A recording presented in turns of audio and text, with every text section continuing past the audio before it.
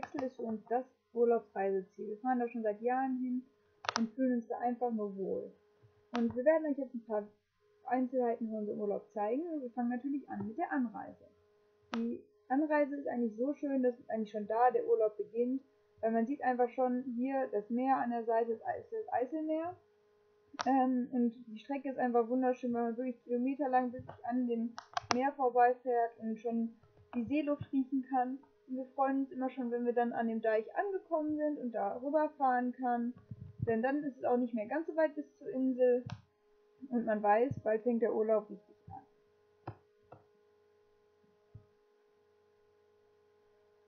Hier seht ihr die Fähre, mit der man rüberfährt. Man fährt von Den Helder ähm, nach Texel. Das dauert so ungefähr 20 Minuten.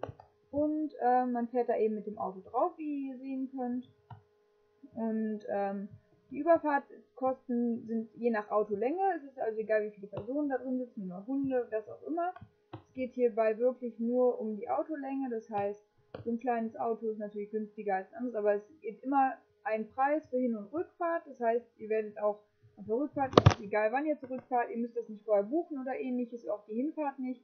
Ist natürlich an den Anreisetagen manchmal etwas voller da. Aber eigentlich, wenn man früh genug losfährt, ist es noch nicht so voll und man kommt eigentlich relativ zügig rüber. Die Überfahrt dauert, wie gesagt, so ungefähr 20 Minuten. Man kann auch aus dem Auto aussteigen und ähm, einfach nur die Aussicht genießen und äh, sich schon mal auch ein bisschen natürlich über die Insel informieren. Das geht da natürlich auch. Man kann auch was essen, was trinken. Es ist eben ein kleines Restaurant mit an Bord, wo man wirklich dann sich ein bisschen schon mal stärken kann und einfach schon mal die Seele ein bisschen baumeln lassen bei der Überfahrt und ja, auch schon mal den ersten Blick auf die Insel riskieren. Ähm, hier seht ihr ein bisschen was von dem Ausblick, den man da eben hat. Die Möwen fliegen immer dabei, weil die etwas von den Touristen erhoffen zum Essen. Und von daher begleiten die einen bei der Überfahrt immer sehr gerne. Hunde dürfen auch mit nach oben, äh, das ist natürlich klar. Hier seht ihr eben, wie Mad Max auch schon mal den ersten Blick auf die Insel wirft. Und ja, auf der, an der Insel angekommen, geht es natürlich erstmal zum Strand. Und das liebt natürlich auch Mad Max. Und Pepper fand es auch immer wunderschön am Strand. Da hat sie sich immer richtig wohl gefühlt. Und ähm, an den Stränden ist es wirklich toll auf Texel, weil die Hunde dürfen da freilaufen außerhalb der Hauptsaison oder halt auch wenn es einfach nicht so voll ist. Und die äh, Strände sind wirklich so kilometerweit, dass da auch wirklich man anderen Hunden aus dem Weg gehen kann, wenn man das eben möchte. Und ähm, die Hunde können da wirklich einfach ihren Spaß haben. Es gibt also keine Strandabschnitte nur für Hunde oder nur für Menschen, sondern das ist alles das gleiche. Man sollte halt eben darauf achten, nicht unbedingt zur Hauptzeit, dann da, wenn die Leute sich alle am Sonnen sind, da mit den Hunden rumtoben, das muss jetzt hier nicht sein. Aber ansonsten ist es da wirklich toll. Die Hunde dürfen damit hin, die dürfen auch mit an die Pals, also an die Restaurants am Strand. Das ist wirklich gar kein Problem. Und natürlich sollten sich die Hunde benehmen können, das setze ich jetzt einfach mal voraus und eben auch, sage ich mal, die Leute wissen, wie man sich da verhält. Das heißt, die Geschäfte mitnehmen, den Dreck mitnehmen. Und ansonsten kann man da wirklich eine tolle Zeit haben am Strand. Und man kann sich wirklich den Strand aussuchen, den man gerne möchte. Es gibt natürlich welche, sage ich mal, wo es ein bisschen voller ist, wo es ein bisschen leerer ist. Aber das Schöne ist eben an der Nordsee an, in Holland, dass es keine richtige Flut und Ebbe gibt. Das heißt, das Wasser ist immer da. Man muss nicht darauf warten, dass das Wasser da ist, sondern es ist mal ein bisschen näher, ein bisschen weiter, aber nicht kilometerweit entfernt oder ähnliches, sondern man hat wirklich immer Meer da. Und das ist einfach auch was, was wir lieben, weil man hat wirklich, sag ich mal, immer das Meer und den Strand. Und ja, sonst äh, seht ihr jetzt ein bisschen was von der Dünenlandschaft auch, die natürlich immer um den Strand rum ist und ein bisschen was vom Strand. Ihr seht ihr auch halt wirklich, wie weitläufig das alles da ist.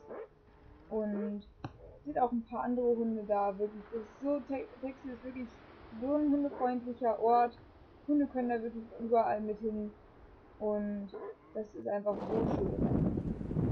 Hier sind wir jetzt am Leuchtturm von Texel mit Restaurant. Das ist jetzt, sag ich mal, ein Strand, der ein bisschen breiter ist, als wir eben gesehen haben. Da ist er ein bisschen weiter im Meer. Aber auch da ist es sag ich mal, nicht, dass man da nicht schaffen könnte. Ja, und jetzt zeigen wir euch ein paar von unseren Aktivitäten, die wir gerne auf Texel machen, abgesehen eben vom Strand. Ähm, wir besuchen gerne hier die Eisdiele. Das ist ähm, Eismacherei Labora. Da gibt es einfach so wundervolles Eis, unterschiedlichste Sorten, die man so nicht essen würde.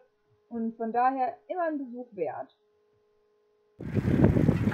Hier seht ihr jetzt auf der sehr gut, weil es in Holland ist und alles so ebenerdig ist. Das heißt, viele äh, Erledigungen kann man schnell mit dem Fahrrad erledigen, muss nicht immer aufs Auto umsteigen. Natürlich gehen wir auch mal bummeln in der Stadt, ein bisschen shoppen, das gehört natürlich auch dazu, aber auch da gar kein Problem, in den meisten Geschäften dürfen die mit. Das ist unser Lieblingsrestaurant in Anführungsstrichen. Es ist ein, eine Pommesbude, wo es die besten Pommes gibt. Das ist Graspatat. Die schmecken einfach unglaublich gut. Es ist mitten im Wald. Wirklich wunderschön gelegen. Man kann da wirklich in Ruhe das Essen. Ist auch für die Hunde eben schön, dass es halt so im Wald ist.